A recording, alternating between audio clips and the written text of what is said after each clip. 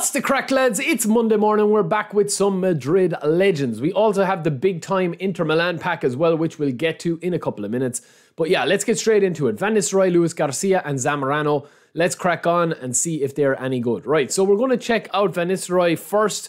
I think he, being honest, lads, look, I will leave it up to you guys. I don't know with the live stream later whether I'll spin for these. These, this is kind of, in my opinion, a little bit of a bust of a pack uh, in terms of what you're getting here, right? You've got a Fox in the box Van Nistelrooy, which I know a lot of people are polarized on their thoughts with a Fox in the box. He's got his booster here, which is going to boost up his finishing and ball control, but his speed and acceleration and balance are a killer on this card, especially for where the game is at at the moment. Now, Van Nistelrooy is Van Nistelrooy. Of course, obviously, if you want to play with one of your favorite legends, it is it is a beastly uh, card just to have it for nostalgic reasons. But I feel like at this stage in the game, you really should only be spinning if you don't have a top class center forward or if you are looking to just do something a little bit different. I mean, if this this is kind of a very personal thing as well, lads, because if this was another version of Collar, I'd probably go for him.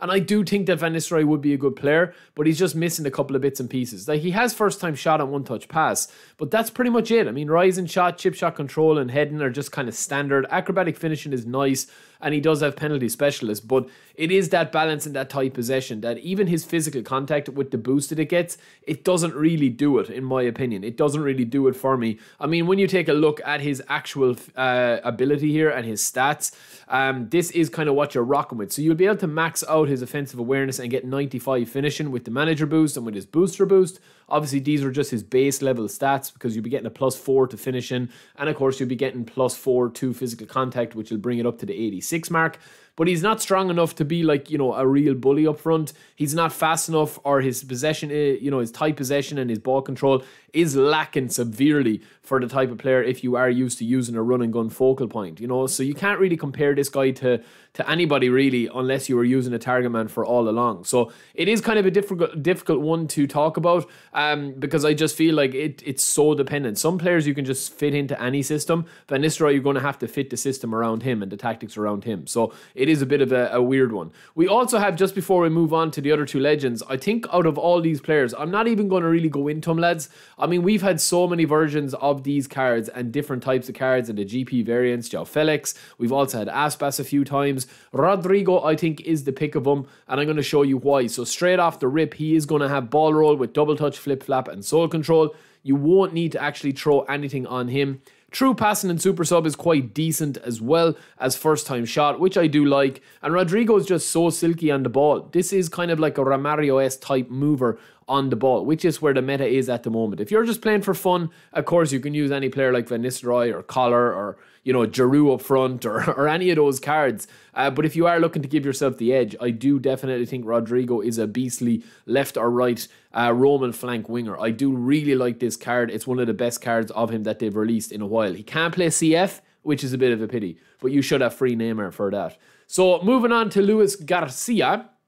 Garcia is going to be a player that with the max booster is going to give a boost to his dribbling, his tight possession, his speed, and his balance. So that's going to change how we, you know, how we kind of train him up a little bit.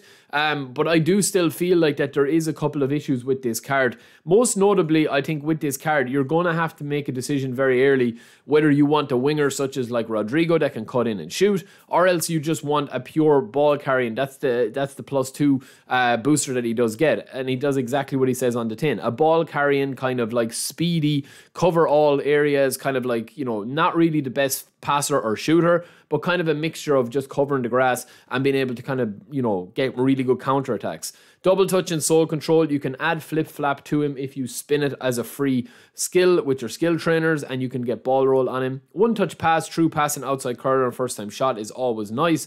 And I do like the fact that he has gamesmanship as well. I do think that he will need ball roll just because of the way he moves and his motion style. I'm going to do a video soon on the different motion styles that players have. There's about four of them, and that might answer a lot of questions as to why some people, like myself, are struggling with Rafael Leao compared to Romario, and that kind of debate is going on. But this is the build that we've gone for for Luis Garcia. Again, I'm not going to spend too much time on these players, lads. I, I think that this is a nostalgic driven pack if you are a fan of the player or you just want something a bit different. I don't think that they really compare to, you know, the other legends that have been released, but it's a nice card. I mean, you're going to get with the booster here is tight possession at 90 with the manager boost and his booster, and of course, you're going to have ball control and dribbling all over 90 as well as acceleration his speed and balance won't be over 90. That's a little bit of a concern compared to where, you know, other cards can get it. But it is a nice card, man, especially if you give him flip flap. And then also, last but not least, we have Zamorano. Now, I feel like this card is going to be love it or hate it. I mean, I've already talked to a few people um, that were saying that he's an absolute beast, um, and I will be covering it in the live stream later. I mean, if you guys listen, I would like to spin for Zamorano, but if I could spin and get him in 3,000 coins to test him out, I would. Um, but let's see. Let's see what happens, man. I will see later on in the stream. This is kind of his base card here, and it is actually quite a decent card with the boosters. So he does get the aerial plus two. I would have preferred his acceleration or his balance to get a bit of a boost because that's going to be what ultimately I think kills this card. Even though he's got unwavering form, B rating, everything looks good there. His lack of player skills is a little bit of a concern, but he does have acrobatic finishing and aerial superiority. And of course, he does have first time shot, heading, chip shot control, and rising shot. He doesn't have outside curler, he doesn't have long range curler, which are two of the kind of like strong ones that you would possibly need.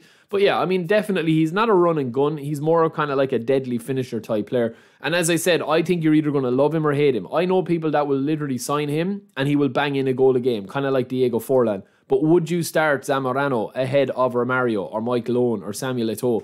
Or David Villa or Shevchenko or Mbappe or any of those guys that I can just continue to name. So uh, there is the build that we've gone for with him as well. Six into shooting, eight into dribbling, 14 into dexterity. That's mainly to get his balance up and to max out his offensive or attacking awareness and to get his acceleration up to the 90 mark as well to have him just an absolute beast in the box. If he gets the ball in the box, boys, you're going to have 90 finishing and you're going to have that heading and uh, jump quite nice as well, even though he's not the tallest player in the world. But yeah, I definitely think that there, there's a lot to be there's a lot to be left to be desired with this card. I mean, it's it's I think a lot of the legends now there's a wider debate to be had there, and we'll have it on the stream. Um, I, I think there's a wider debate about the cards now as to like you know the reasoning for signing some of these cards. Uh, I mean, if you are looking to get Van Nistelrooy there is so many GP alternatives that can be as 90%, if not 95%, as good as him. And that's for just starting the game right now as a newcomer. If you've been playing the game for a while, literally every card you see here, you will probably have a better version or a very, very similar version that will go about 90% of the way towards what cards are on offer at the moment. It's different with the likes of a Mario, or it's different with the likes of a big time Araujo or somebody like that. We will cover the big time Inter pack, which again is a little bit disappointing, but let me know your thoughts on this, lads. Is this an easy spin or an easy skip for you? Is it a cheeky spin or two and then hope you get Van Nistelrooy or Garcia or Zamorano and then dip? Or what are you guys thinking? I will be back later on streaming. Don't forget to subscribe to the channel if you're enjoying the content. We will see you in the live stream in about three hours' time. Until then, peace.